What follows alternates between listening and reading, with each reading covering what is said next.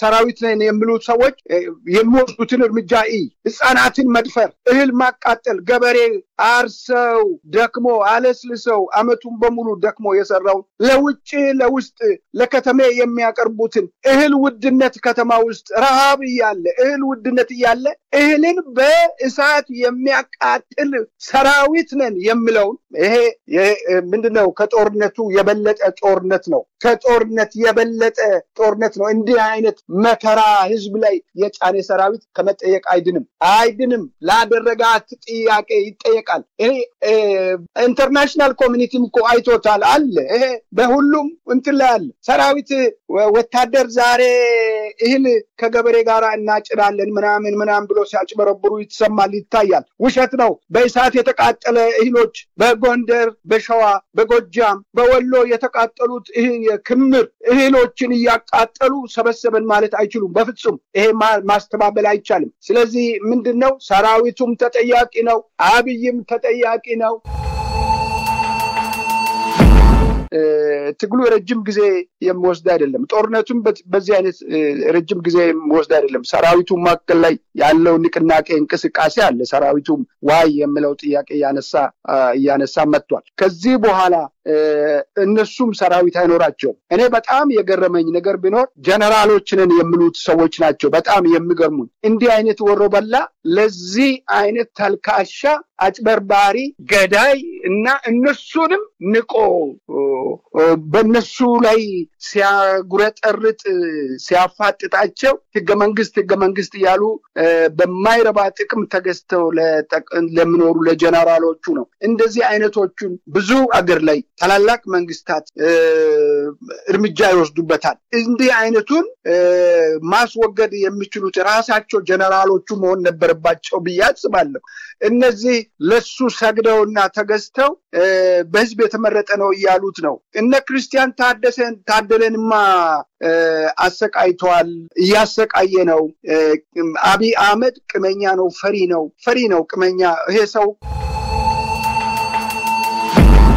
የሚመኩት ሰራዊትም የሰው የድሃ ልጆችን እያስፈጁ እየገበሩ የሰው ደም እያስገበሩ ዛሬ ለደረሱበት ውድቀታቸው እኮ ምልክት እየሆነ መጥቷል እኮ። ከዚህ በኋላ ክንዱ የአማራ ክንድ ፈርጥሞ ነው የወጣው።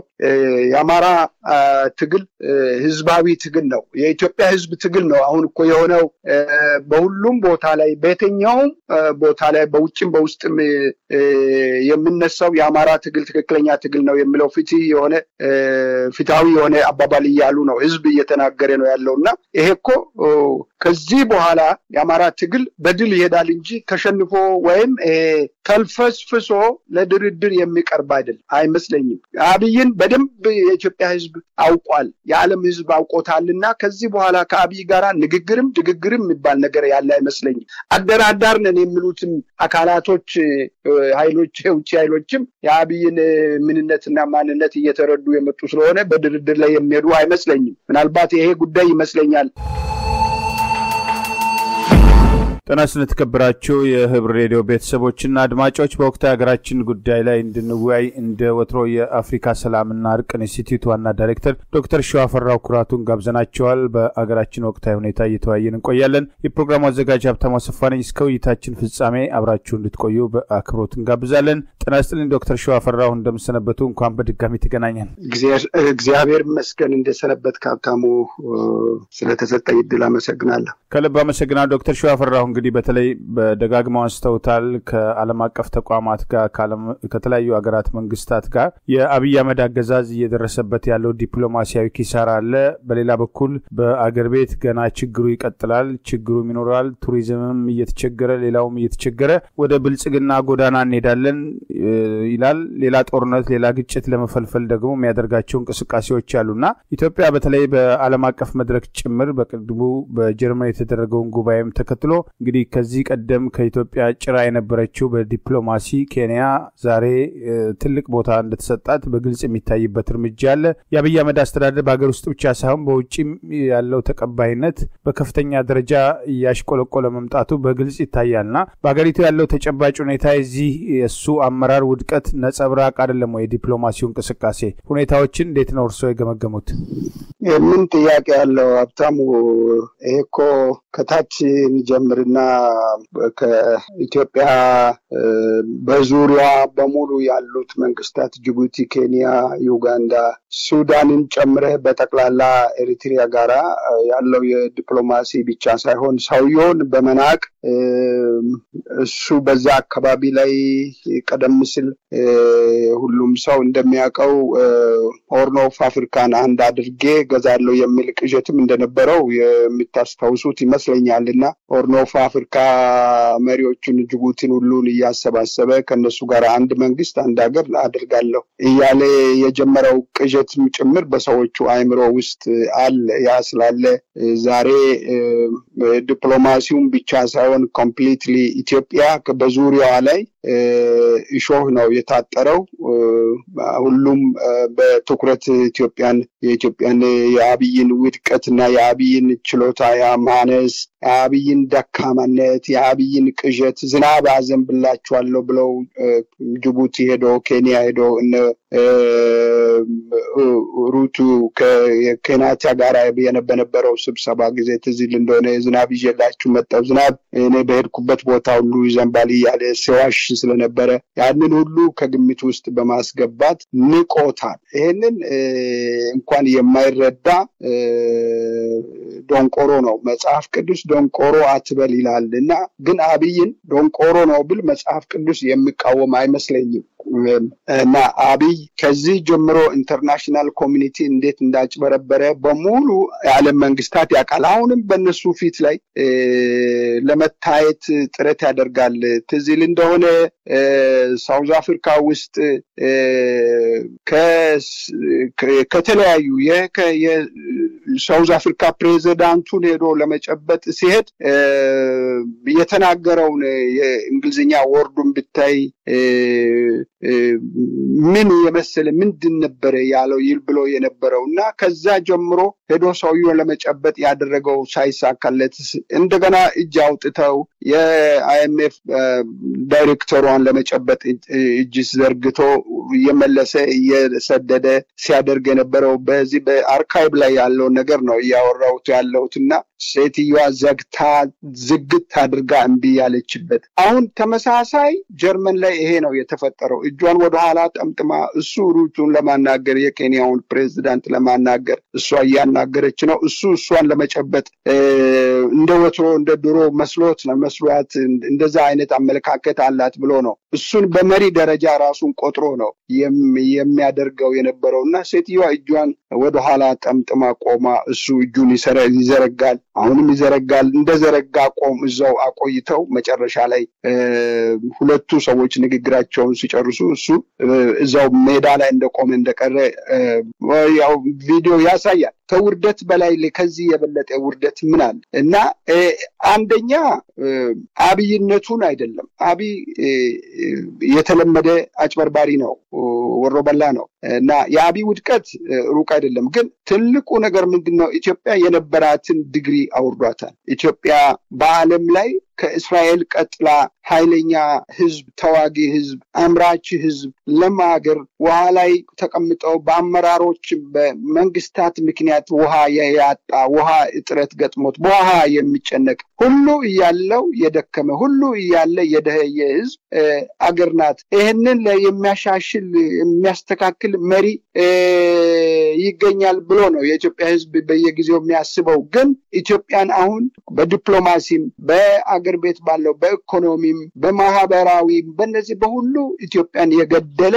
በአምስት ዓመት ውስጥ አምሳ ዓመት ያልተሰራ ጥፋት ያጠፋ ህዝብ ነው ግለሰብ ነው። እና እነዚህ ሰዎች ለዘራቸው ለራሱ ለኦሮሞ ህዝብ የማይሆኑ ኦሮሞ ህዝብ ሊዋጋቸው የሚገባ ሰዎች ናቸው። እና ውድቀታቸው ወጣም ወረደ በውስጥም በውጭም ያበቃ ጉዳይ ነው ብዬ ደመድማለሁ። ሀብታሙ ከልብ አመሰግናለሁ። ዶክተር ሸዋፈራው በተለይ ቀደም ሲል አንስተውታል። እንግዲህ ያው የኦሮሞ ሕዝብ ወኪል ነኝ፣ የኦሮሞን ስልጣን እናስጠብቃለን። ኦሮሞ ከዚህ በኋላ ከዛ ኢትዮጵያ አካባቢ አልፎ ታላቂቱን ኦሮሚያ ከመገንባት አልፎ እስከ ቀይ ባህር ድረስ እንሄዳለን የሚል እብሪት በከፍተኛ ደረጃ እንግዲህ ከቤተ መንግስቱ እስከ ተራ ካድሬ ድረስ የሚቀነቀንበት ሰዓት ከኦነግ ጋር ያለው ድርድር በተመለከተ እንግዲህ በአማራ ሕዝብ ላይ ጦርነት ተከፍቷል።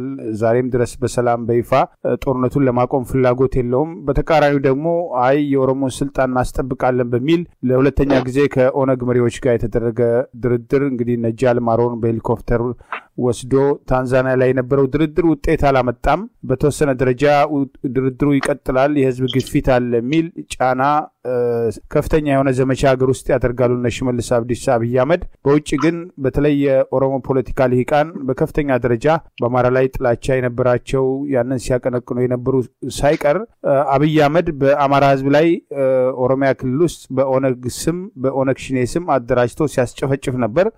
አንዳንድ ጊዜ የራሱ የኦሮሞ ህዝብ ጭምር ግራ ተጋብቷል።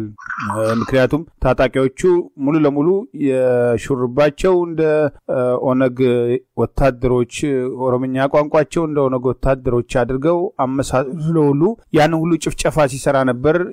በኦሮሚያ ውስጥ እሱን የሚቃወሙ ሁሉ በእነዚህ ታጣቂዎች ስም ሲገል ነበር እያሉ አሁን በአስራ አንደኛ ሰዓት መናገር የጀመሩበት እንቅስቃሴ አለና በአንድ በኩል ይሄ በጎ እርምጃ አብይ የኦሮሞ ህዝብ ወኪል አይደለም የሚለውን ራሳቸው የኦሮሞ ፖለቲካ ልሂቃን መናገር መጀመራቸውና የድርድሩን ጉዳይ እንዴት አገኙት? በተለይ ደግሞ በኢትዮጵያ ህዝብ ስም ስልጣን ላይ ተቀምጫለሁ የሚል አካል የኦሮሞን ስልጣን ተባብረን ማስጠበቅ አለብን፣ ስልጣኑም ብሩም ጊዜውም የኛ ነው፣ በዚህ ጉዳይ ላይ መተባበር አለብን፣ እናንተ ብቻ ጠመንጃ አውርዳችሁ በሰላም ለመታገል ሞክሩ የሚለው ጥሪ ጀምሮ የሚደረገውን እንቅስቃሴ እንዴት እየተከታተሉት ነው? ገርሞኝ ነው።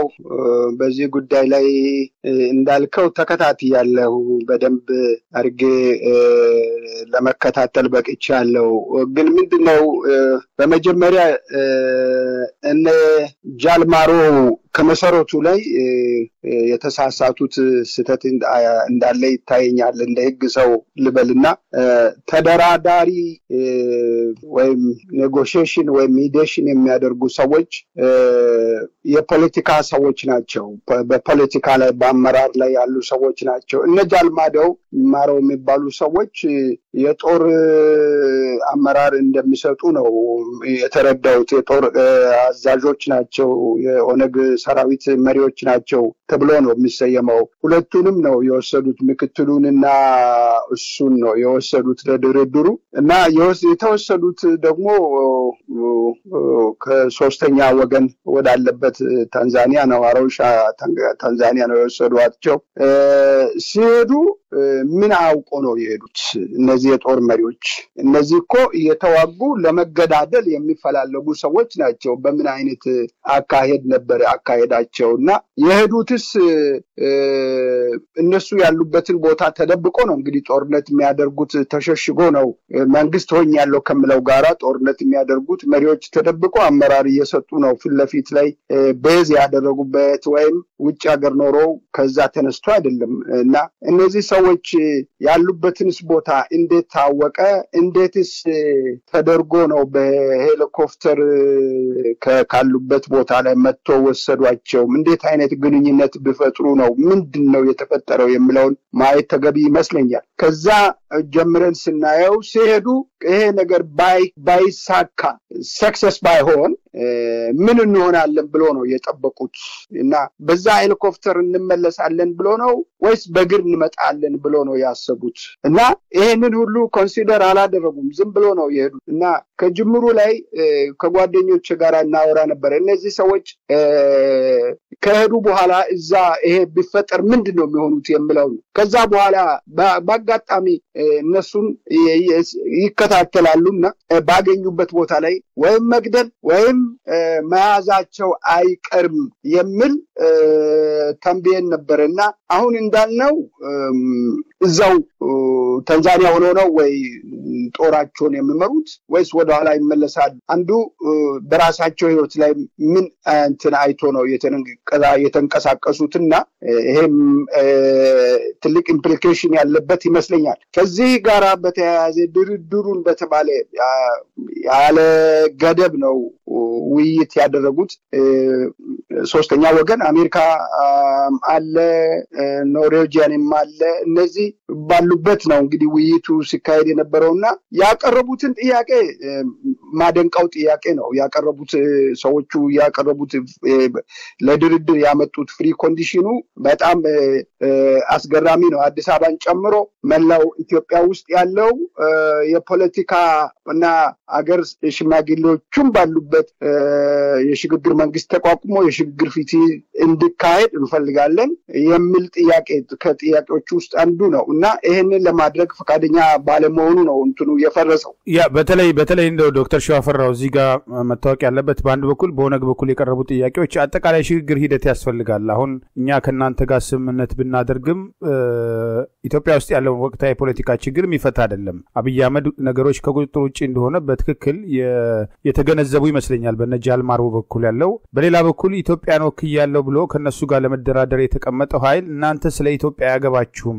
የሚያገባችሁ ስለ ኦሮሞው ጉዳይ ብቻ ነው። እንግዲህ የኦሮሞን ስልጣን እናስጠብቃለን በሚል አብይ አህመድና ጓደኞቹ ምን አይነት በኢትዮጵያ ስም እያጭበረበሩ ለመቀጠል ያላቸውን ፍላጎት በግልጽ ያሳየ፣ በሌላ መድረክ ደግሞ ራሳቸውን ጭምር ግልጽ ያደረጉበት እንቅስቃሴ ነው እና በተለይ አጠቃላይ ያለው የኢትዮጵያ ፖለቲካ ችግር በሽግግር ሂደት ውስጥ እንግዲህ የሽግግር መንግስት ምስረታ፣ ሌሎች ጉዳዮች፣ የፖለቲካ ውይይቶች እንግዲህ ብዙ ሊጠቃለሉ የሚችሉ ነገሮች አሉ። በኦነግ በኩል የሚቀርቡት አጀንዳዎች ምንድን ናቸው? በሌላ በኩል ምንድን ነው የሚለው እንዳለ ሆኖ ነገር ግን የእነሱ ፍላጎት ገንዘብና ስልጣን ሰተናችሁ ሁሉን ነገር ተዉ የሚል ነበርና አጠቃላይ በተለይ ኢትዮጵያን ወክላለሁ ብሎ መከላከያ ተብለው የተወክለው ሄዱትም የኦሮሞ ብሔር ተወላጅ ጀኔራሎች የመከላከያ የደህንነት ኃላፊ ጌታቸው ጉዲና ሌተናል ጀኔራል ጌታቸው ጉዲና እንግዲህ በዝርፊያም ስሙ በተደጋጋሚ የሚነሳ ግለሰብ ነው። ከዛ አልፎ በኋላ እነ ሬድዋንን ለይስሙላ የላከበት እንቅስቃሴ አለና ከዚህ ጀምሮ የፖለቲካ ፍላጎቱና እምነቱ አብይ አህመድ ምንድን ነበር የሚለውን በግልጽ የሚያሳይ አይደለም ወይ? አዎ እሱን ነው እኮ ወደዛ እሱን ለማለት ነው። አንደኛ ድርድሩ ድርድሩ ንግግሩ የመጣው ኦሮ አሁን ያልከው ነው። ምንድነው ገንዘብም ውሰዱ፣ ስልጣንም እንሰጣለን፣ ከኛ ጋር ሆናችሁ ሰራዊታችሁን አፍርሳችሁ ተቀላቀሉ ነው። በአጠቃላይ የነዚህ ከአብይ በኩል የቀረበላቸው ጥያቄ ይሄ ድርድሩም ደግሞ በኢትዮጵያ ጉዳይ ሳይሆን በኦሮሚያ ጉዳይ ነው እንዳልከው። ነገር ግን እነሱ ምንድን ነው የነሱ ጥያቄ የነሱ አቀራረብ ደግሞ አዲስ አበባን inclusive አዲስ አበባን ጨምሮ የሽግግር ጊዜ መንግስት ያስፈልጋል። በዚህ ጊዜ ነው ከዛ በኋላ ነው ወደዚህ ወደምትሉት ነገር የምንመጣው የምለው ላይ ነው እንግዲህ ልፋለስ የቻለው እና አንዱ ይሄ ነው የሰጡትን የምክትል ፕሬዚዳንትነትን ቦታ ብትፈልጉ እንሰጣለን፣ ገንዘብን የፈለጋችሁት እናደርጋለን የምለው ነው። ይህንን አልተቀበሉትም። ያልተቀበሉበት ምክንያት ግልጽ ነው። አብይን፣ ሽመልስን፣ ብልጽግናን አላመኑም፣ አያምኑ። ኦነግ የራሱ የግሉ ይሄ ኢትዮጵያ የሚለው በአፉ ውስጥ ቢገባም ኦነግ በግሉ የራሱ objective አለው፣ የራሱ mission አለው፣ የራሱ ጎል አለው። ስለዚህ ኦነግ ማሸነፍ የሚችልበት እና ማንበርከክ የሚችልበት መንገድ ኢትዮጵያን የሚለው ያነሱት አጀንዳ ነው። ያ አጀንዳ የሁሉም የኢትዮጵያ ሕዝብ ጥያቄ ነው እና ይህንን ፈትተን ነው መሄድ ያለብን የሚል ነው እና በዛ በሚያደርጉት መድረክ ላይ እድል እናገኛለን እና advantage እናገኛለን በሚል ነው። ይሄ አልሆነለትም። ይህንን ሊቀበል አልፈለገም። እናንተን በኦሮሞነታችሁ ነው የሰበሰብናችሁ እንጂ በኢትዮጵያዊነታችሁ አይደለም በሚል ላይ ሊፈርስ ችሏል። ስለዚህ ምንድን ነው ይሄ የአንድ አንጃ የአንድ ሀገር በአንድ ሀገር ውስጥ ከተለያዩ ወገን የሚወጡት ኦፒዲኦ እና ኦነግ አንጃዎች ናቸው። ኦፒዲኦም ኦነግ ነው፣ ኦነግም ኦፒዲኦ ነው እና አሁን ከዚህ በኋላ ያለውን የኦነግ ጉዞ ምን እንደሆነ እናያለን። እሱ ማየቱ ነው የሚሻለው። ይመለሳሉ ያለው ባለው ፖለቲካ ወይም ጦርነቱን ጦርነቱን እያካሂዳሉ እያካሄዱ ነው። በእርግጥ እያካሄዱ ነው። ጦርነት እንደሚያካሂዱ እየተሰማ ነው። ሌላ ሰው ተተክቶላቸው ጦርነት እያካሄዱ ነው ነው የሚባለው። በጀትም በድሮንም እየመታ ነው ይሄኛውም። እነሱም በዚህ አይነት ቀጥለዋል። የእነዚህ ጉዳይ በብዙ የሚያሳስበኝ አይመስለኝም። ምክንያቱም ትልቁ ጉዟችን ትልቁ አካሄዳችን አገር እንዴት ነው ለማዳን የሚቻለው? ከአሁኑ በኋላ አብይ እና ብልጽግና በኢትዮጵያ ውስጥ ስራ አለው ይኖራል ወይ የምለው ነው። ከዚህ በኋላ አብይ እኮ ቅድም international community ጉዳይ እንዳነሳነው ሁሉ በሀገራችን ላይ በውስጥም ምንም አይነት የህዝብ ቅቡልነት እንደሌለ የኔ ናቸው የሚላቸው ሰዎች ሁሉ እየከዱ እየወጡ እየጠፉበት መሆኑ ነው የሚታየን። እና ይሄ ባለፈው የዛሬ ሳምንት ይመስለኛል ታላቁ ሩጫ ላይ ወጣቶች ያሳዩት እንቅስቃሴ ያ ህዝብ ሁሉ ነው የጮኸው ሁሉ ነው ጠመንጃ ናፈቀን ያለው። አንድ ሰው ጠመንጃ ናፈቀን የሚለው ትርጉም ምንድን ነው? ምን ምንድን ነው? መራራ ነው ትርጉሙ። ትልቁ ጠመንጃ ናፈቀ ማለት ግደል ገድዬ ሞታለሁ የሚል መራራነት ነው። መራራ ነው የህዝብ ጥያቄና ይሄንን ስታየው እኔ ለፋኖም ትልቅ ሞራል ነው፣ ለፖለቲካ አመራሮችም ትልቅ encouragement ነው፣ ንቅናቄ ነው፣ አእምሮን እና ልብን የሚያድስ ነገር ነው፣ ጉልበት የሚሰጥ ነው። ህዝብ ከማን ጎን እንዳለ በግልጽ የሚያሳይ ነው። የእያንዳንዱን ጥያቄ ይመልሳል። ያ ታላቁ ሩጫ የተባለው ላይ የተካሄደው አባባል ይህንን ካየን ወደፊቱን የፋኖ እና የህዝባዊ ግንባር እንቅስቃሴ ፍጥነት ውጊያው ምን ይሆናል የምለው ነው። እኔ ይመስለኛል በዚህ ሞራል በጀመሩት መንገድ ከሄዱ አማራ ክልልን በቅርቡ ነፃ ያወጣሉ፣ የራሳቸውን አመራር ይፈጥራሉ። ወደ አዲስ አበባም ለመግባትና አገርና ህዝብን ለማዳን የሚያስችል ብቸኛው ብቸኛው ይሄ ብቸኛው መንገድ ይሄ ነው። ይሄ ይሄን ትግል ማን ነው እንዴት ነው የምንቀላቀለው የምንደግፈው የሚለው ነው የአገር ቤት ህዝብ ማሰብ ያለበት። እዚህ ላይ ነው መሰራት ያለበት። እንዴት ነው ትግሉን ልንቀላቀልና በምን መልክ ነው ከዚህ ኃይል ጋር መቀላቀል ኢትዮጵያን የምናድነው የሚለው ላይ ነው ማየት ያለብን ይመስለኛል። ሀብታሙ እዛ ላይ ነው ፎከስንጋችን። ከዚህ በኋላ የአብይና የእሱ ሰራዊት የእሱ ፖለቲካ ይሄ ውሉ ያልታወቀ የመደመር የሚባለው በሙሉ ተቀንሶ አልቋል። ብቻው ነው ያለው። ስለዚህ መደመር እንደተቃጠለ አድርገ ከዚህ በኋላ ምንድን ነው የፖለቲካ ጉዟችን ወዴት ነው የሚደርሰው እና ህዝቡ ምን ማድረግ አለበት ከሚለው ላይ የምነጋገሩ ይሻለኛል ብዬ አስባለሁ። ሀብታሙ ከልብ አመሰግናለሁ። በሌላ በኩል እንግዲህ በአማራ ህዝብ ላይ የተከፈተውን ጦርነት በኃይል ዛሬም እንግዲህ ጦርነት በየትኛው መንገድ የሚደገፍ አይደለም። የአማራ ህዝብ በሰላም በተቀመጠበት የተከፈተበት ጦርነት ነው። የጦርነቱን ማንሳት ጦርነት ማንሳታቸውን ኃላፊነቱን ወደ ሌላ ለማድረግ የሚሞክሩበት እንቅስቃሴ አለ። እሱ ብዙ ውጤት ያመጣ አይመስለኝም እና በአማራ ክልል ካለው ተጨባጭ ሁኔታ ፋኖች እያደረጉት ያለው የተቀናጀ ልዩ ወታደራዊ ኦፕሬሽን አሁን ከወልዲያ እስር ቤት መፈታት ጀምሮ በላሊበላም በሌሎች አካባቢዎችም እስረኞችን በማስፈታት የፖለቲካ እስረኞችን ነጻ እያደረጉ ያሉበት እንቅስቃሴ ካገዛዙ በተሻለ ወታደራዊ መረጃ ካገዛዙ በተሻለ የደህንነት መረጃ እንዳላቸው በግልጽ እያሳዩ አገዛዙ በተቃራኒው ወደ ዝርፊያ ወደ ውድመት ውስጥ እንግዲህ ሰላማዊ ሰዎች ላይ በስቴም አካባቢ እንደዚሁ ሰላማዊ ሰዎች ላይ ተጨማሪ የድሮን ጥቃት የፈጸመበት እንግዲህ የድሮን ጥቃት የሚደረግባቸው ትምህርት ቤቶች፣ ሆስፒታሎች፣ መናኸሪያዎች፣ ሰው የሚሰበሰብባቸው ቦታዎች ሁሉ እየሆነ ነው። ከቀብር የሚመጡ ሰዎች ላይ ነው የሚጣለው። እንዲህ እንዲህ አይነት እንቅስቃሴዎችን በግልጽ እያየን ባለንበት ሂደት ውስጥ አገዛዙ ከዚህ በኋላ በኃይል የኢትዮጵያ ውስጥ ያለውን ችግር አፍኖ ለመቀጠል የሚችልበት እድል አለ ወይ? አዲስ አበባም ሌሎች አካባቢዎችም ያለው የህዝብ ስሜትና የአገዛዙ የኃይል አማራጭ ውጤት አምጥተዋል ወይ? አንድ ነገር በደንብ የሚየው አብይ የከሰረ ነጋዴ አብይ የከሰረ ነጋዴ ነው። አሁን እያደረጉት ያሉት ከዚህ ጋር ስታደርግ የከሰረ ነጋዴ የሚያስመስለው ነገር ማሳየት ይቻላል። ስርቆትና ዝርፊያ ውስጥ የገባ ኃይል ነው በአሁኑ ሰዓት ላይ የከሰረ ነጋዴ ከዛ በኋላ ለመሸሽ ሻንጣውን ይሸክፋል። ይሄ ነው አሁን እየሆነ ያለው የእሱ ሰዎች በቤተሰቦቻቸውም በሌላም በኩል እየሸከፉ ንብረት፣ ገንዘብ እያሸሹ ነው። ይሄ ነው ያለው። አማራ ጦርነት አልጀመረም። ይሄ እኮ ዓለም አቀፍ ማህበረሰብ መናገር የሚችሉት ነው። እኛ ኢትዮጵያውያን ቀርቶ አማራ ጦርነትን አልጀመረም። አማራ አርሶ አደሩ ነው።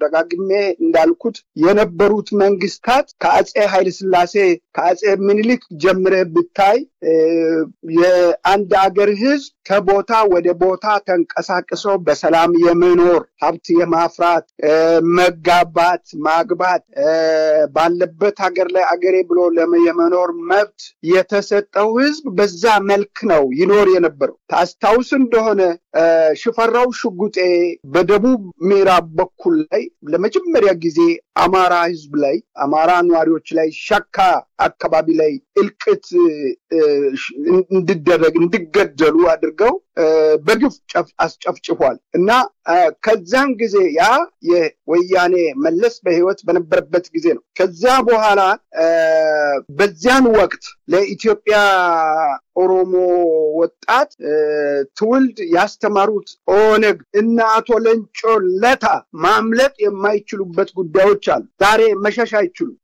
ምንድን ነው ያደረጉት? ትውልድን በውሸት ነው ውሸትን ነው ያጠጡት። አቶ ለማ መገርሳ ለማ መገርሳ ይሄንን officially አድርግ ተብሎ አላደርግም ብለው archive ላይ ያለውን ማየት ይቻላል፣ ማቅረብ ይቻላል። ሀብታሙ ይህንን ህዝብ ማየት አለበት። ደጋግሞ። እኔ ሰውን አልገልም፣ እኔ ይህንን ውሸት ትርክት የተነገረ ትውልድን በክለናል፣ ትውልድን አበላሽተናል፣ ይህ ውሸት ነው ብሎ ለማ የተናገረው በቂ ነው፣ ከበቂ በላይ ከበቂ በላይ ነው። ስለዚህ ያንን ውሸት አስጠንቶ አስተምሮ ትውልድ ሲያድግ ይህንን ይዞ እንድነሳና ቅምና ቁርሾ ይዘው እርስ በርስ እንድተላለቅ ፖለቲከኞቹ የሰሩት ሐሰተኛ ይሄ ፍጹም ፍጹም መጥፎ ታሪክ አስተምሯቸው ያሳደጓቸውን ልጆች ኦሮሞን አማራ ፈጀ፣ ገደለ በምኒልክ ጊዜ ተብሎ ምኒልክ ብሎ ነው ምኒልክ ብሎ ነው ያስተማሯቸው። ከዛ አማራ ብሎ ነው ያመጧቸው። ስለዚህ ትውልድ ያንን በልቡ ይዞ ነው ዛሬ ላለው ኢትዮጵያ ውስጥ ብጥብጥ የዘር ጥላቻ የዘር ጥላቻ ይህንን ነው ለማ መገርሳ የተናገረው። የዘር ጥላቻ ተጥሎባቸው አማራን ወለጋ ውስጥ አገሬ ብለው መንግስት ነው ያሰፈራቸው። እኛ በዘመናችን በዚህ ዕድሜ እናውቃለን። ትናንት ነው ይሄ የሆነው። አርባ ዓመት ውስጥ በአርባ ዓመት ዕድሜ ያለው ሰው ሁሉ የሚያውቀው ነው። ትናንት ነው በድርቅ ጊዜ ከወሎው ከትግራይ ከደቡብም ጭምር መንግስት ጫካ መንጥረው በመንግስት ደረጃ ጫካ ተመንጥሮላቸው መሬት ሰፈራ ሰጥቶ ያጓጓዛቸው አገር አልምተው መሬት አርሰው ገፍተው ቤት ሰርተው በጥረታቸው ጠንካራ ሰው ሆነው ለሌሎቹ የተረፉት ናቸው። እነዚህ መላ ኢትዮጵያ ውስጥ ያለውን ከተሜ የሚመግቡ አርሶ አደሮቹን ጨፈጨፏቸው። አርባ ሺህ አማራ ተገደለ፣ በግፍ ተገደለ። ይህንን በታሪክ ፊት አንድ ቀን በፍርድ ፊት ላይ እናገራለሁ፣ እግዚአብሔር እድሜ ከሰጠኝ ካቆየ። እነዚህ አማራዎች ተጨፈጨፉ። ቀሪዎቹ ጫካ ዘመዶቻቸው ልጆቻቸው እያለቀ እየተገደለ አቅም ያለው ተጉዞ ከቤኒሻንጉል ከወለጋ ወደ አማራ ክልል የሄደው displacement የሆኑት እነዚህ የተፈናቀሉት ወደ ወደ ሁለት መቶ ወደ አምስት መቶ ሺህ የሚያክሉት አሉ ነው የሚባለው። ዛሬ በኢትዮጵያ ውስጥ ትልቁ displacement የያዘው የተፈናቀለው ነው። በዚህ አይነት ነው አማራ ነው የተፈናቀለው። በአብዛኛው በአብዛኛው የተፈናቀለው አማራ ነው። ይሄ ግፍ ነው በአማራ ላይ የተፈጸመው። ይሄንን ያደረጉት እነዚህ ለድርድርም በለው ለመደራደርም ሊደራደርም የሚያደርገው አመራር ነው። ዛሬ አብይ አህመድ ከአብይ አህመድ ጋር ለድርድር ለንግግር የሚል አካል ራሱ ላይ ሸምቀቆ ይዞ ነው የሚሄደው። ምንም አይነት ድርድር የለውም። ይህንን ህዝብ ፈጅቶ ነው ሁላችንን ሰላም ፈላጊዎች፣ ሰላም አስተማሪዎች፣ ሰላም ላይ የምንሰራ ሰዎችን ጭምር ወደዚህ ገፋፍቶ ወደ ትግል ውስጥ ያስገባን ይሄ ክፉ ስርዓት ስለሆነ ነው። ከናዚ ስርዓት ጋራ ከጣሊያኑ ናዚ ከናዚ ከጀርመኑ ናዚ ከጣሊያን ሞሶሎኒ ስርዓት ጋር ለይቼ እነዚህን አላይም እኔ። ስለዚህ እነዚህን ሰዎች ለፍርድ አቅርበው ህዝባዊ ፍርድ ህዝባዊ ፍርድ ካላገኘ ምንድነው ይሄ የሚሆነው? ምናልባት ኢትዮጵያ ብቻ አይደለም። በዚህ በኢኳቶሪያል ጊኒ ላይ እንዲህ አይነት ነገር ተፈጥሯል። ፍራንሲስኮ ሞሶያል የሚባል ፕሬዚዳንት ነበረ። የዛሬ አርባ ዓመት አካባቢ ያለው ታሪክ ነው። ይህንን ማወራው ልክ እንደ አብይ ነው የነበረው። አምልኩኝ ሁሉ ያሉት መሪዎች አሉ አፍሪካ ውስጥ አምላክ ነን ያሉት። አብይ ዛሬ አምላክ ነኝ እያለ ነው። አብይ እኔ አምላክ ነኝ እያለ ፓርላማ ውስጥ የሚባለው የእሱ የግል ፓርላማ እኔ አምላክ ነኝ ሲል ያጨበጭብለታል። ይሄንን ታሪክ ያወጣል። ሚኒስቴሮቹ በከልቾ ሲመታቸው ያጨበጭቡለታል። እንዲህ አይነት ስርዓት ውስጥ ነው የፍራንሲስኮ እና የአብይ ባህሪያቸው ተመሳሳይ ነው። ፍራንሲስኮ የገዛ ህዝቡን የጨረሰ ቤተሰቦቹን ጭምር የፈጀ በጣም አደገኛ ሰው ነበር። እንደነዚህ አይነት ሁኔታ ውስጥ ነን ያለ ነው። ይሄ ስርዓት በሙሉ በሙሉ በምን መልክ ነው ይህንን የምናስወግደው? እሱ እሱ ላይ እሱ ላይ ምናልባት ስለዚህ ምንድን ነው የሚሆነው መሰለ ምንድን ነው መሆን ያለበት መሰለ እኔ በዚህ ሰውዬው ላይ ከኢትዮጵያ ህዝብ ጎን ራሱ ኢትዮጵያዊ ኦሮሞ እጁን ማንሳት አለበት። እጁን እጁን ክንዱን ማንሳት አለበት። ከፋነው ከታጋይ ኃይሎች ጋር መቆም ክሊርሊ ወጥተው መናገር አለባቸው። እኔ ማቃቸው ጓደኞቼ የኦሮሞ ልጆች ደውሎ ያናግሩኛል። እግዚአብሔር አሁን በግልጽ ይሉኛል። በግልጽ አሁን መናገር የተጀመረበት ጊዜ ነው። ምናልባት አጥሩን አልፎ መነጋገር የሚቻልባቸው ሁኔታዎች መጥተው በቀሪው ላይ እንግዲህ የጋራ እድል ነው። በአማራ ህዝብ በኩል የሚደረገውን ትግል እንቅስቃሴ የሚመሩ በየደረጃው ያሉ የፋኖ መሪዎች በግልጽ ወጥተው ተናግረዋል። ፋኖ የሚታገለው በአንድ በኩል የአማራ ህዝብን ህልውና ለማስጠበቅ ነው። ከዚህ በኋላ አራት ኪሎ የሚቀመጥ መንግስት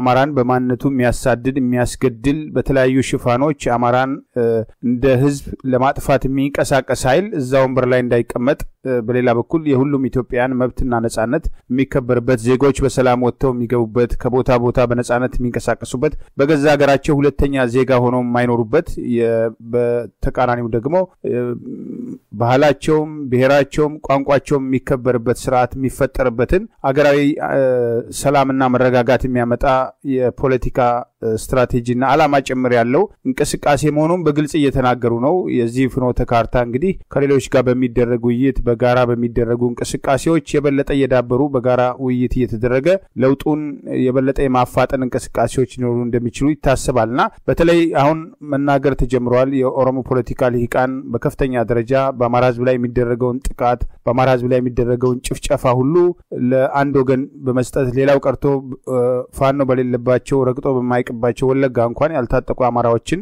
መጨፍጨፍ ተከትሎ አጉል የፖለቲካ ሽፋን ሲሰጥ የነበረበት ነገሮችን ቆሞ የማየት ጉዳዮች አይ የለም ያን ሁሉ ጭፍጨፋ ሲመራ የነበረው በኦነግ ስም በኦነግ ሽኔ ስም አሁን ራሱ አብይ ነው ራሱ ሽመልስ አብዲሳ ነው እነሱ ያደራጃቸው ነው ብለው መናገር ጀምረዋል። ይሄ እንግዲህ ከአምስት ዓመት በፊት ጀምሮ እነ ብርጋዴ ጀነራል ከማል ገልቹ ሲናገሩት የነበረ እንቅስቃሴ ነው እና በዚህ ደረጃ ከተመጣ አሁን የኦሮሞ ህዝብም በሰላም ወጥቶ መግባት አልቻለም።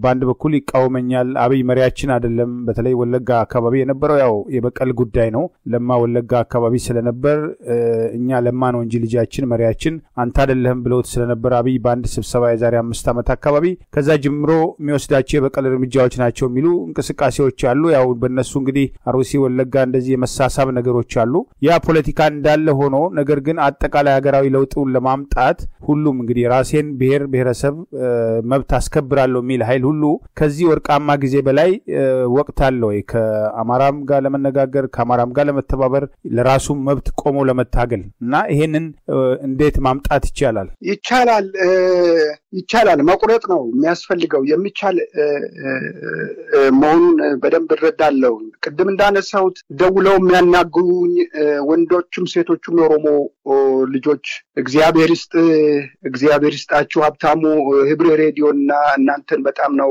በእውነት አሁን ነው የተረዳ ነው የሚሉት በዘመናችን በኢትዮጵያ ውስጥ የኦሮሞና የአማራ የኢትዮጵያ ችግር ተፈቶ አይተን ብንሞት የሚሉ የኦሮሞ ልጆች ገጥሞኛል። ደስ የሚል ነገር ነው። ይሄ ባለፈው ሁለት ሳምንታት ውስጥ ይህንን ጥሪ ይህንን አባባል አስተናግጅ ያለው ወርቃማ ጊዜ ይሄ ነው። ዛሬ የኦሮሞ ኤሊቶች በተለይ በውጭ ያሉት በተለይ ደግሞ እንደዚሁም በውስጥ ያሉት አባቶች አርሶ አደሮችን ጨምሮ የአገር ሽማግሌዎችን ጨምሮ አማራጭ መያዝ አለባቸው።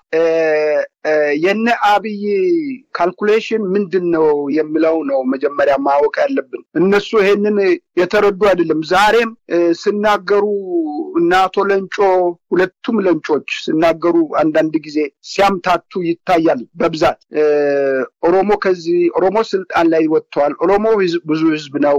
ኦሮሞ ብቻ ነው የሚል ኦሮሞ ኦሮሞ የሚል ነው። ሌላውስ ኢትዮጵያዊ ህዝብ ህዝብ አይደለም እንዴ? ይህንን እንዴት አድርገው ነው እየሰበኩት ያሉት? በምን መስፈርት ነው ሌላውን ህዝብ ማነስ ማሳነስ እና መቀነስ የሚችሉት? እያንዳንዱ ግለሰብ መጀመሪያ የግለሰብን መብት ያላስጠበቀ አገር ህግ መንግስት መቼም ቢሆን አይረጋም፣ መቼም ቢሆን አይኖርም። ስለዚህ ምንድን ነው ይህን ወርቃማ ጊዜ የኦሮሞ ኤሊቶች ማጥናት መቻል አለባቸው። በደንብ ፍጥነትም መጨመር አለባቸው። ከፋኖ ጋራ በሚችሉት መንገድ መገናኘት መቻል አለባቸው። ከአማራ ትግል ጋራ በአማራ ትግል መካከል ላይ ድምፃቸውን ገብቶ ማሰማት አለባቸው። እስከ መቼ ድረስ ነው በእንደዚህ አይነት ነፃ አውጪና ነፃ ወጪ እየተባለ የሚቀጥሉት? መቼ እስከ መቼ ነው የሚሆነው? ነፃ በአንድ ሀገር ውስጥ ነፃ የሚወጣና ነፃ የሚያወጣው ምንድን ነው? ማን ነው? በደንብ ይህንን ሊያጠኑት ይገባል። የመንግስታትን በደል እኔ አልቀበልም። መንግስታት እና ህዝብ መነጠል መቻል አለብን፣ መለየት መቻል አለብን። መጀመሪያ ላይ እንዳነሳሁት መንግስታት በስርዓታቸው ላይ ያደሉ ይሆናል አለ። ሪፐብሊካን ያደላል ለፓርቲው፣ ዴሞክራቲም እንደዚሁ ያደላል። ይሄ ይኖራል። ግን አድሎ ሁል ጊዜ discrimination ነው። discrimination ሁል ጊዜ ችግር ያመጣል በህዝብ መካከል። ስለዚህ አድሎ የሌለበት አስተዳደር ለማምጣት የአንድ ሰው ድምፅ እኩል የሚቆጠርበትን ስርዓትና ኦሮሞም አርፎ በሀገሩ ላይ በሰላም ለመኖር የሚችልበት አማራም በሀገሩ ላይ በሰላም ሊኖር የሚችልባትን ምድር ህዝብ ሳይገደል በህግ የሚዳኝበት መንገድ ለማምጣት የሚያስችል institution ለማቋቋም የሚያስችል ቅን ሀሳብ፣ ቅን ልብ፣ ንጹህ አእምሮ በእውቀት ላይ የተመራ የአባቶችን የሽማግሌዎችን ድምፅ መስማት የሚያስችል ወቀሳን ማስተናገድ የሚያስችል ሁኔታዎቹን መፍጠር የሚያስችልበትን ሁኔታ ለማምጣት ውችን ወርቃማ ጊዜ በኢትዮጵያ ስም በሚጠራው ማናቸውም ስብሰባው ውጭም ውስጥም ላይ ውጭ ውስጥ ላይ አመች ባይሆኑ እንኳን በውስጥ ላይ በውጭ ባለው እንቅስቃሴ ውስጥ ሙሉ የኦሮሞ ፓርቲሲፔሽን ያስፈልጋል። እኔ ይሄንን ማለት እፈልጋለሁ። ይቀላቀሉ፣ ይነጋገሩ፣ ይውቀሱ። የዛሬ ችግራችን አበጥረን ለማውጣት የምንችልበት የጋራ አንድነት ለመፍጠር ይነጋገሩ፣ ያነጋግሩ። እኔ ለኦሮሞ ህዝብ ትልቅ አክብሮት አለኝ። ብዙ ጊዜ የምለው ህዝብ ነው፣ ደግ ነው፣ የዋ ህዝብ ነው፣ ጥሩ ህዝብ ነው። የኦሮሞ ህዝብ ሃይማኖት አክባሪ ነው። ያው እንግዲህ እግዚአብሔርን የሚፈራ ህዝብ ነው። ሁሉም ሁሉም ህዝብ ጋር ህዝብ ከህዝብ እኮ ችግር የለበትም። የትግራይም ህዝብ፣ የአማራም ህዝብ፣ የኦሮሞ ህዝብ፣ ሲዳማም፣ ወላይታውም እርስ በርስ ችግር የለበትም። እርስ በርስ ችግር ያለበትም ባለፉት ጊዜያት ስልጣን ላይ የወጡ ብሔርተኞች እንግዲህ የእነሱን ስልጣን ለማስከበር በተለይ ደግሞ ህወሓትም የመጣበት አካባቢ አነስተኛ ፖለቲካ አነስተኛ ቁጥር ያለው ህዝብ ስለሚወክል በበላይነት ለመቀጠል እርስ በርስ ለመከፋፈል ያደረጋቸው ሙከራዎች ያው እስከተወሰነ ድረስ አስጉዘውታል። ውጤቱ ምን እንደሆነ በግልጽ የታየበት ነው። ከዚህ በኋላም ተመልሰው ጦርነት ውስጥ ለመግባት የሚያደርጉት እንቅስቃሴ ውጤት እንደማያመጣ ተደጋግሞ ተገልጿል። ከዛ ይልቅ በተለይ ደግሞ አሁን አዲስ አበባ ውስጥ ባለፈው አንስተውታል። ታላቁ ሩጫ ላይ ተቃውሞ ከተነሳ በኋላ እነ አዳነች አበቤ በአማራ ህዝብ ላይ ዘመቻ እስር ከዚህ ቀደም እንግዲህ አድርገዋል። ከጦርነቱ ቀደም ብለውም ጦርነቱን በአማራ ህዝብ ላይ ከከፈቱ በኋላም አማራ የተባለ እያሳደዱ ከየቢሮ ከየተለያየ ቦታ ራሳቸው በመንግስት መዋቅር ያሉ ጭምር የምክር ቤት አባላት ያለመከሰስ መብታቸው ሳይነሳ እስር አድርገዋል። በተለይ ደግሞ የአዲስ አበባ ምክር ቤት አባል ዶክተር ካሳ ተሻገር ከዚህ ቀደም ነፍጠኛ በሚል ህወሓት በፍረጃ የአማራ ህዝብን ለማሸማቀቅ የሚያደርጋቸው የጅምላ ጥቃቶች፣ እስሮች ነበሩ። ዛሬ ደግሞ እናንተ በተራችሁ ጽንፈኛ እያላችሁ አማራን እያሳደዳችሁ እያሰራችሁ ነው። ይሄ ነገር መቆም አለበት የሚል ምክር ቤት ውስጥ እንደ ምክር ቤት አባል እንግዲህ ገዢው ብልጽግና ፓርቲን ወክለው ምክር ቤት ውስጥ ያሉ ሰው ናቸው መናገራቸውን ተከትሎ እሳቸውም እንግዲህ ያለመከሰስ መብታቸው ሳይነሳ ታፍነው አዋሽ አርባ የሚገኙበት ሂደት አለ።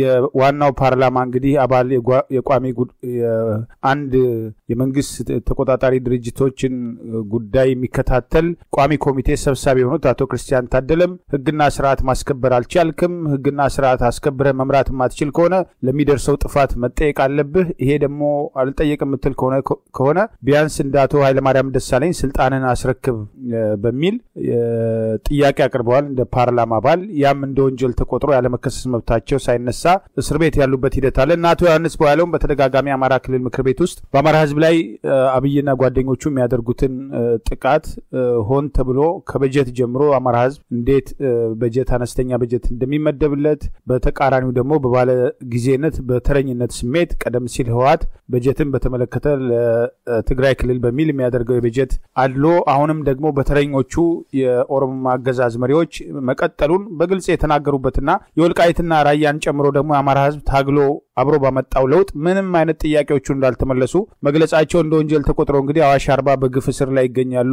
እጅግ አስነዋሪ ብዙ ነገር እየተፈጸመባቸው ነው። በማንነታቸው ሳቢያ ጥቃት እየደረሰባቸው ነው። ከዛ አልፎ ልንረሸን እንችላለን የሚል ጥያቄ እየቀረበ ነው እና በዚህ ደረጃ በአማራ ህዝብ ላይ የዘር ማጥፋት ወንጀል ከፈጸሙ አንዱ እንግዲህ ከንቲባ አዳነች አበቤ ነች። ከሚያስፈጽሙ በአደባባይ የጥላቻ ቅስቀሳ ስታደርግ የነበረ አማራ አዲስ አበባ እንዳይገባ የምትሰጣቸው ምክንያቶች በግልጽ የታዩበትና ይሄ ባለበት ሂደት ውስጥ የአዲስ አበባ ከተማን ህዝብ አወያይተን የህዝቡን ችግር አዳምጠናል፣ ምላሽ ሰጥተናልና የሚል እንቅስቃሴ ጀምረዋል። ዛሬን ጨምሮ እንግዲህ ስብሰባ በዘመቻ እያደረጉ ነው። ሰሞኑን እያደረጉ ያለበት ሂደት አለና አሁን ባለው ተጨባጭ ሁኔታ ውስጥ የህዝቡን ጥያቄ በዚህ መንገድ መመለስ ይችላሉ ወይ? አማራን ሌላውንም እንደ ቁንጫ እየቆጠሩ ጊዜያችን ነው ተረኝነት ነው በሚል አዲስ አበባ ጭምርን በህገወጥ መንገድ ወደ ኦሮሚያ ለማካለል እንዲህ አይነት እንቅስቃሴ የተደረገ የህዝብን ጥያቄ የመለስን ነው የሚለው እብሪት ውጤት ያመጣል ወይ? ውጤት ያለ ማምጣቱ እኮ በግልጽ እየታየ መጥቷል። የህዝብንም ክንድ እየቀመሱ የሚመኩት ሰራዊትም የሰው የድሃ ልጆችን እያስፈጁ እየገበሩ የሰው ደም እያስገበሩ ዛሬ ለደረሱበት ውድቀታቸው እኮ ምልክት እየሆነ መጥቷል እኮ። ከዚህ በኋላ ክንዱ የአማራ ክንድ ፈርጥሞ ነው የወጣው። የአማራ ትግል ህዝባዊ ትግል ነው። የኢትዮጵያ ህዝብ ትግል ነው። አሁን እኮ የሆነው በሁሉም ቦታ ላይ በየትኛውም ቦታ ላይ በውጭም በውስጥም የምነሳው የአማራ ትግል ትክክለኛ ትግል ነው የሚለው ፍትህ የሆነ ፍትሃዊ የሆነ አባባል እያሉ ነው ህዝብ እየተናገረ ነው ያለው እና ይሄ እኮ ከዚህ በኋላ የአማራ ትግል በድል ይሄዳል እንጂ ተሸንፎ ወይም ተልፈስፍሶ ለድርድር የሚቀርብ አይደል አይመስለኝም። አብይን በደንብ የኢትዮጵያ ህዝብ አውቋል፣ የዓለም ህዝብ አውቆታልና ከዚህ በኋላ ከአብይ ጋር ንግግርም ድግግርም የሚባል ነገር ያለ አይመስለኝም።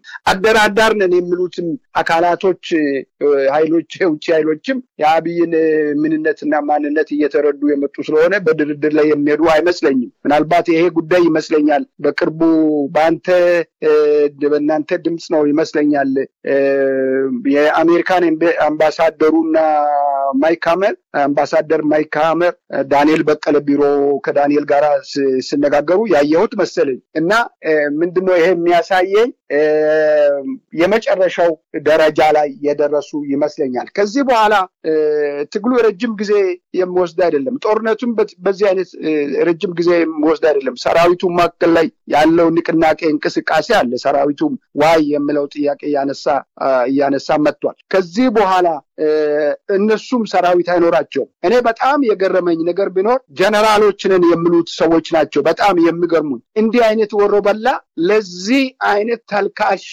አጭበርባሪ፣ ገዳይ እና እነሱንም ንቆ በእነሱ ላይ ሲያጉረጠርጥ ሲያፋጥጣቸው ህገ መንግስት ህገ መንግስት እያሉ በማይረባ ጥቅም ተገዝተው ለሚኖሩ ለጀነራሎቹ ነው። እንደዚህ አይነቶቹን ብዙ አገር ላይ ታላላቅ መንግስታት እርምጃ ይወስዱበታል። እንዲህ አይነቱን ማስወገድ የሚችሉት ራሳቸው ጀነራሎቹ መሆን ነበረባቸው ብዬ አስባለሁ። እነዚህ ለሱ ሰግደውና ተገዝተው በህዝብ የተመረጠ ነው እያሉት ነው። እነ ክርስቲያን ታደለንማ አሰቃይተዋል፣ እያሰቃየ ነው። አብይ አህመድ ቅመኛ ነው፣ ፈሪ ነው፣ ፈሪ ነው፣ ቅመኛ። ይሄ ሰው ፊት ለፊት ነው፣ በፓርላማ ፊት ነው። ፓርላማ የሚባለው የዚህ የእሱ እሱ እንደምናገረው እኔን ነው የመረጠው እንጂ እናንተን መቼ ህዝብ መረጠ? እኔን እኔ ነኝ ያስመረጥኳችሁ እያለ ምፎክርባቸው እነዚህ የግል የእሱ ፓርላማ የሚባሉት ነው እንጂ ፓርላማ ህዝባዊ ቢሆን ኖሮ የህዝብ ቢሆን ኖሮ እነ ክርስቲያን ታደሰን ለምን ታደለን ለምን አስር ብለው መጠየቅ ነው። ፍታ መብት አለው። የመከሰስ ያለ መብት አለው። እነዚህን ሰዎች ኢሚኒቲያቸውን ለምንድን ነው ያደረግከው? እነገለን እነገለን ማለት ነበረበት። የአማራ ተመራጮችም ቢሆኑ የነ ዮሐንስ ቧያለው የክልል ምክር ቤት አባል ነው። እነዚህ አይነቶቹን መጠየቅ የነበረባቸው የራሳቸው ምክር ቤቶቹ የሚባሉት ነበረ። ግን ምክር ቤቱ ራሱ የማን ነው? የግሉ ስለሆነ ለደሞዝ ለሆዱ ለህሊናው የማይኖር ለሆዱ የሚተዳደር ስለሆነ እስከ ዛሬ ድረስ ዝምተው መርጠው ዝም ብሎ ነው ያዩት። አልጠየቁትም። ለምን የምለው የት አለ የምለው ለምን አሰርክ አላሉትም። እስከ ዛሬ ድረስ ይኸው አምስት ነው ስድስት ወር ሊሞላባቸው ነው። እንዲህ እንዲህ አይነት ስቃይ መከራ ውስጥ ያሉትን ሰዎች የማይጠይቅ የራሱ ፓርላማ አባል የማይጠይቅ ፓርላማ አለ ብዬ አልገምትም። ስለዚህ ለፓርላማ አባላትም የኢትዮጵያ ሕዝብ እንዳያመልጡ ከፍርድ እንደማያመልጡ አውቀው እንዲዘጋጁ ይጠይቃል። እኔ አይነቱ እንደ ናዚ ዘመን የናዚ ሰራዊት የናዚ ስርዓት በህግ እንደተጠየቀ በህግ ከመጠየቅ አንድም ሰው ከዛ ውስጥ አያመልጥም። ወንድ የለም፣ ሴት፣ አማራ የለም፣ ኦሮሞ፣ ደቡብ የሚባል የለም፣ ምን የለም፣ ምን የለም። ሁሉም ተጠያቂዎች ናቸው ሀብታሙ። ስለዚህ እኩል ከአብይ ጋር ይጠየቃሉ፣ እኩል ለፍርድ ይቀርባሉ ብዬ አስባለሁ። እርግጠኛ ነኝ ይሄንን ማይበት ጊዜ ሩቅ አይሆንም እናይበት። ስለዚህ ምንድን ነው እህል ማቃጠል ሰራዊቱን ሰራዊት ነን የሚሉት ሰዎች የሚወስዱትን እርምጃ ኢ ህፃናትን መድፈር፣ እህል ማቃጠል፣ ገበሬ አርሰው ደክሞ አለስልሰው አመቱን በሙሉ ደክሞ የሰራውን ለውጭ ለውስጥ ለከተሜ የሚያቀርቡትን እህል ውድነት ከተማ ውስጥ ረሃብ እያለ እህል ውድነት እያለ እህልን በእሳት የሚያቃጥል ሰራዊት ነን የሚለውን ይሄ ምንድነው? ከጦርነቱ የበለጠ ጦርነት ነው። ከጦርነት የበለጠ ጦርነት ነው። እንዲህ አይነት መከራ ህዝብ ላይ የጫነ ሰራዊት ከመጠየቅ አይድንም አይድንም። ላደረጋት ጥያቄ ይጠየቃል። ይሄ international community ም እኮ አይቶታል አለ። ይሄ በሁሉም እንትን ላይ አለ። ሰራዊት ወታደር ዛሬ እህል ከገበሬ ጋር እናጭዳለን ምናምን ምናምን ብሎ ሲያጭበረብሩ ይሰማል፣ ይታያል። ውሸት ነው። በእሳት የተቃጠለ እህሎች በጎንደር፣ በሸዋ፣ በጎጃም፣ በወሎ የተቃጠሉት ክምር እህሎችን እያቃጠሉ ሰበሰበን ማለት አይችሉም። በፍጹም ይሄ ማስተባበል አይቻልም። ስለዚህ ምንድን ነው ሰራዊቱም ተጠያቂ ነው፣ አብይም ተጠያቂ ነው። ብልጽግና ተጠያቂ ነው። ፓርላማ ተጠያቂ ነው። ፖሊስ ተጠያቂ ነው። ህዝብን እያገተ ፖሊስ ነን እያለ እየዘረፈ እያሰረ እየገረፈ መከራ በሐሰት እየከሰሰ ፍርድ ቤት እያመላለሰ ያለው አቃቢያን ህግ ጨምሮ ፍርዱ court ኡን ጨምሮ justice ተጠያቂ ነው። justice አያመልጥም። የኢትዮጵያ justice ከመጠየቅ የሚድን አይደለም። እኔ በእርግጠኝነት እንዲህ እንዲህ አይነቱን አጥርተን የሽግግር ጊዜ ፍትህ ይህንን ሁሉ ዳስሶ ወደዚህ መስመር አስገብቶ ነፃ ኢትዮጵያ ዛሬ ሩዋንዳን ማየት እንችላለን። ሩዋንዳ ዛሬ ሁቱ ቱሲ ማለት አትችልም። በሩዋንዳ ውስጥ በነገራችን ላይ ይቅርታ ሄጄ አይቻለሁ። ሁቱ ማለት አትችልም። ቱሲ ማለት አትችልም። በብሔር መጥራት አትችልም። ዛሬ Rwandese ነው የምትለው። ሁቱና ቱሲ ብለህ ብትለያይ በህግ ትቀጣለህ፣ የህግ ፍርድ ታገኛለህ። እንዲህ አይነት ስርዓት ነው መምጣት ያለበት። ኢትዮጵያዊ ነው የሚለውን ማምጣት መቻል አለበት። አማራ ህዝብ ለዚህ ነው የሚታገለው። የአማራ ልጆች ለዚህ ነው። የአማራ ወጣቶች ገብቷቸዋል። ዛሬ በሙሉ ሰልጠኝ፣ ዛሬው በሙሉ አገሩን ለማዳን ወታደር ሆኗል። ምን እንደሚሆን እናያለን። ጉድ ነው የምናየው። ከዚህ በኋላ ይሄ ታሪክ ለኢትዮጵያ የመጨረሻ ነው። ኢትዮጵያ ፍጹም ትጠራለች፣ ፍጹም ትነጻለች። ይልቅስ በጣም የሚቆጨኝ የሚሰማኝ ምንድን ነው? እንቅስቃሴ ያላደረጉ ክፍላተ ሀገሮች ናቸው። ህዝብ ነው ያ ህዝብ ነው መከራውን ፈርተው እስራትን ፈርተው አንገቱን ቀርቅረው እንደው መቼ ይመጣል እንዴት ይሆናል እያለ ምንድን ነው የምናደርገው ለውጥ መቼ ይገኛል እያለ ግብር ከፋይ ሆኖ የሚኖረው ደቡብን ነው የሚያሳዝነኝ። የተወሰኑ ሰዎች ዛሬ የወር ደሞዝ የስድስት ወር የሰባት ወር ደሞዝ እኮ ሀብታሙ ተከልክለው ሀዲያዎቹን ዛሬ በሙሉ እያሰሯቸው ነው፣ እየለቀሟቸው ነው። ጉራጌን እየለቀሙ ነው፣ እያሰሩ ነው፣ እየታሰሩ ነው። ደሞዛቸውን ከልክለው እንዴት አድርገው ይኑሩ? ገንዘባቸውን በሉ። ገንዘባቸውን የበላው ክልል የሚባለው ሲፈርስ ተከፋፈሉ። እነ ርስቱ ይርጋው ይርዳው ተከፋፍሎ ገንዘብ በሉ። በጀቱን የሚሰጣቸውን በጀት አመታዊ በጀቱን ያለ ጊዜ በሉ። መንግስት የለም አፍርሰዋል። ርስቱ ይርዳው አፍርሶ ገንዘቡን አመራር ላይ የነበሩት ንብረት ጭምር ሽጦ በሉ። ከዚህ በኋላ ምንድን ነው አሁን ያደረጉት ታውቃለህ? ምን በልተን እንስራ ያሉትን መምህራንና ሐኪሞችን እያሰሩ ናቸው። የጤና ባለሙያዎቹን እየለቀሙ ሰሞኑ ዛሬ ሶስት ሁለት ቀን እየለቀሙ እያሰሯቸው ናቸው። እና ከዚህ የበለጠ መከራ ምን ይምጣ? ስለዚህ ምንድን ያለው? ደቡብ ልክ ይሄ እንደተጀመረ መውጣት መቻላል መፈንዳት ያልፈነዳ ባሪያ ነው። ባርነትን የሚሸከም ትከሻ አይኖርም። ባርነትን አሽቀንጥሮ መጣል አለበት። እዚህ ሀገር ላይ እኔ በሚመጣበት ጊዜ ሀብታሙ ምንድን ነው እኔ ከእናንተ ቀደም ብዬ ነው መሰለኝ የመጣው። ዋሽንግተን እንደ አሁን አሁን ያለችው ዋሽንግተን አይደለችም። ዋሽንግተን ተቃጥሎ ቤቶቹ ተቃጥሎ ነው ያገኙ። ምንድን ነው እንዲህ አይነት አገር ላይ ቤት እንዲህ የተቃጠለው የምለውን ጠይቄያለሁ። ነፃ ሲወጡ ማርቲን ሉተር ኪንግ በተገደለ ጊዜ ሰዎች የራሳቸውን ቤት አቃጥሎ ነው ለትግል የወጡት። ዛሬ ያለችውን አሜሪካ ያገኙት በዛ አይነት ነው። የራሱን ቤት አጥፍቶ ነፃ ወጡ። ከባርነት ነፃ የወጣው ራሱን መጀመሪያ ማንነቱን ክዶ ነው። ማንነታቸውን መካድ አለባቸው። የኢትዮጵያ ሕዝብ ማንነቱን ክዶ ነው መውጣት ያለበት። አንገትን ቀርቅሮ ቀን መጠበቅ ከሞት አያድንም። ይህንን ነው ማድረግ ያለባቸው ይመስለኛል። ሀብታሙ ስለተሰጠኝ አመሰግናለሁ። ቀሪው ካለ በሚቀጥለው ላይ እመለስበታለሁ። ከልብ አመሰግናለሁ። እንግዲህ በአገር ቤት ያለው ሁኔታ ከጊዜ ወደ ጊዜ መልኩን እየቀየረ ያለበት በተለይ የለውጥ ተስፋው እያደገ በሁሉም አካባቢዎች ፋኖ የሚያደርጋቸውን እንቅስቃሴዎችም በሌሎች ቦታዎችም በከፍተኛ ደረጃ በተስፋ የመጠበቅ ነገሮች አሉ። በየውስጣቸው ደግሞ የለውጥ እንቅስቃሴዎችም በተወሰነ ደረጃ ጊዜ አጋጣሚ እንደሚጠብቅ ያው ያለፈው ሳምንት የተደረገው ታላቁ ሩጫ በግልጽ ያሳየ ነው። አዲስ አበባ ዝም አለ፣ አዲስ አበባ ዝም አለ ሲባል ነበር። የታፈነ አጋጣሚና ሁኔታ ሲኖር ሊፈነዳ የሚችል ነገር እንዳለ ተደጋግሞ ተነስተዋል። ከዚህ ቀደም የኦሮሚያ ባንዲራን የኦሮሚያ የጥላቻ መዝሙርን አዲስ አበባ ውስጥ በግድ ካልዘመራችሁ ተብሎ እንቅስቃሴ በተጀመረ ጊዜ እንግዲህ ምንም አያውቁ የመጀመሪያና ደረጃ ተማሪዎች ሳይቀር አደባባይ ወጥተው ተቃውሟቸውን የገለጹበት አፈና እንደማይቀበሉ በግልጽ ለማሳየት የሞከሩበት ሂደት አለ። ከዛ በኋላ የተወሰዱ የአፈና እርምጃዎች አሉ። ያንን ተግባራዊ ለማድረግ እንቅስቃሴ አለ። አዲስ አበባ ላይ ሰሞኑን እየተደረጉ ያለው የዘመቻ ስብሰባም ስርዓቱ በህዝብ የመጠላቱ እንቅስቃሴ ሊቀርፍ የሚችልና በምንም ተአምር ከዚህ በኋላ ይሄ ስርዓት እዛ ሀገር ላይ ተረጋግቶ እንደፈለገው በጉልበት እየደፈጠጠ ሊቀጥል የሚችልበት ሂደት እንደሌለ በግልጽ እየታየ የመጣበት ሂደት አለ። ምናልባት በውጭ የሚደረገውን እንቅስቃሴ ከዚህ ቀደም ያው ደጋግመን አንስተናል። አንዳንድ ችግሮች እንዲታረሙ በጋራ መቆም እንዲቻል፣ መደማመጥ እንዲኖር፣ እርስ በርስ ጣት መጠቋቆም እንዳይኖር፣ አልፎ አልፎም ደግሞ ለህዝቡ በትክክል ድምፅ መሆን እንዲቻል፣ እስር ቤት ላሉ መከራ እየተቀበሉ ላሉ ድምፅ መሆን እንዲቻል ጥያቄ ሲቀርብ ነበር። አልፎ አልፎ እንቅስቃሴዎች፣ በጎ እርምጃዎች አሉ።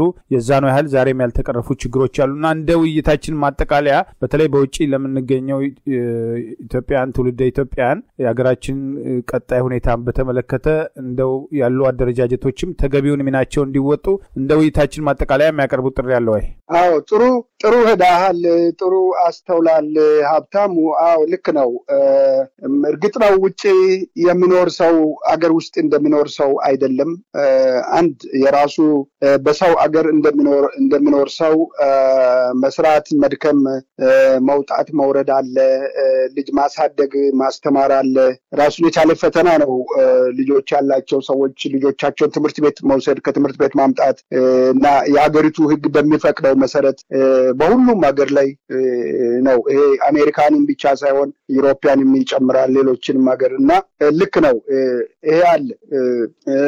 ነገር ግን ወቀሳን እና የሚሰማ ወቀሳን ተቀብሎ በወቀሳ ላይ ለውጥ የሚያደርግ ህዝብ ብልህ ነው።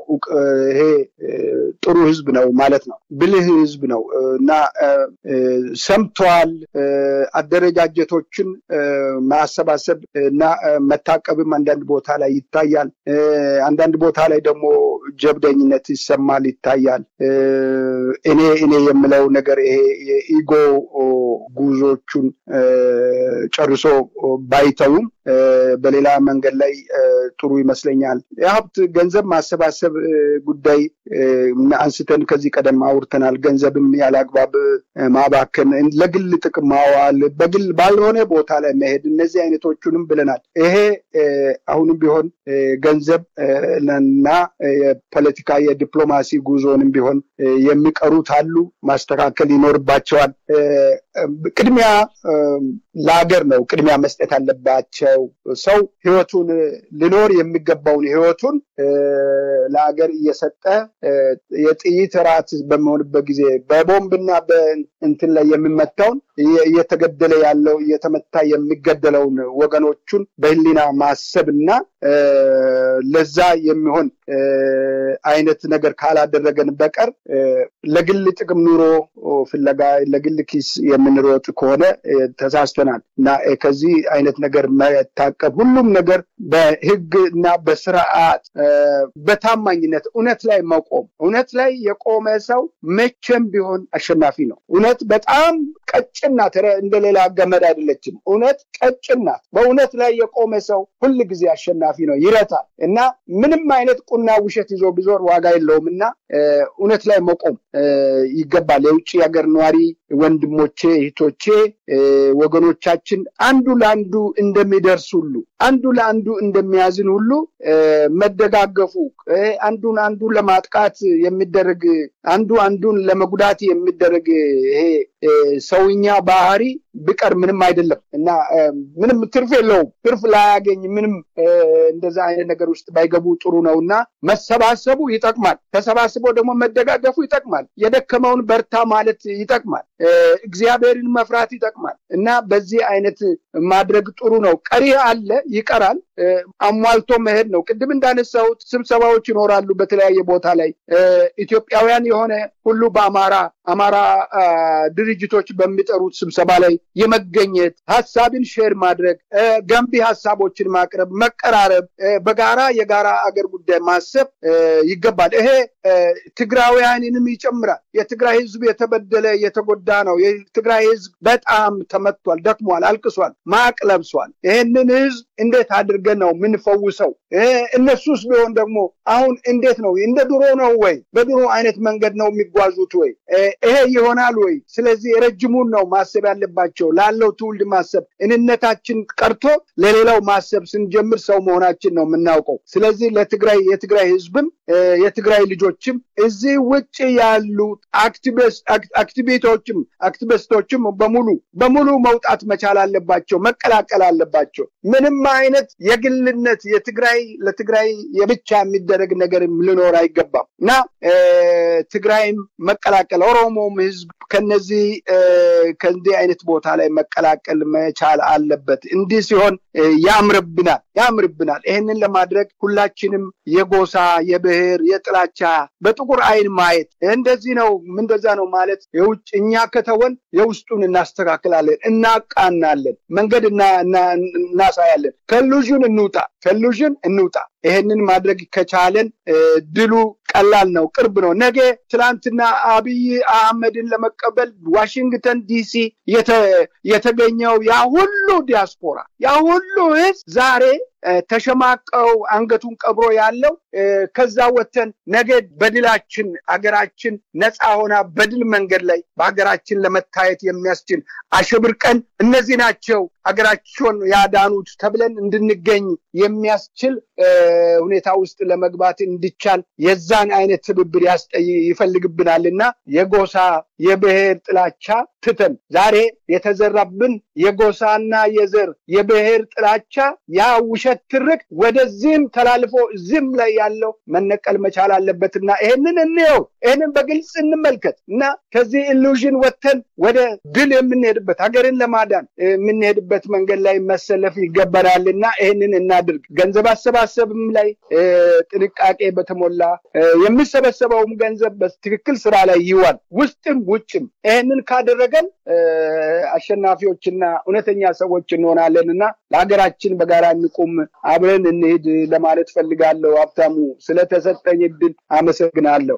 ከልብ አመሰግናለሁ ዶክተር ሸዋፈራው ኩራቱ የአፍሪካ ሰላምና እርቅ ኢንስቲትዩት ዋና ዳይሬክተር። ወደፊትም በሌሎች ወቅታዊ ጉዳዮች እንደምንወያይ ተስፋ አድርጋለሁ። መልካም ጊዜውን ሎ እግዚአብሔር ይስጥልኝ። አሜን። ክቡራን የህብር ሬዲዮ ቤተሰቦችና አድማጮች ስታደምጡን ለቆያችሁ ምስጋናችን ይድረሳችሁ። የህብር ሬዲዮ official YouTube channel ኣችንን subscribe ያላደረጋችሁ subscribe በማድረግ በተጨማሪም የደውል ምልክቱን በመጫን የህብር ሬዲዮ ቤተሰብ እንድትቀላቀሉ በአክብሮት እንጋብዛለን። እንደ ወትሮ ሁሉ የህብር ሬዲዮ ቤተሰቦች ፕሮግራሞቻችንን like በማድረግ share በማድረግ አስተያየቶቻችሁን በመስጠት አብሮነታችሁን ትገልጹ በአክብሮት እንጠይቃለን። በድጋሚ እናመሰግናለን። ጤና ይስጥልን። ቸር እንቆይ።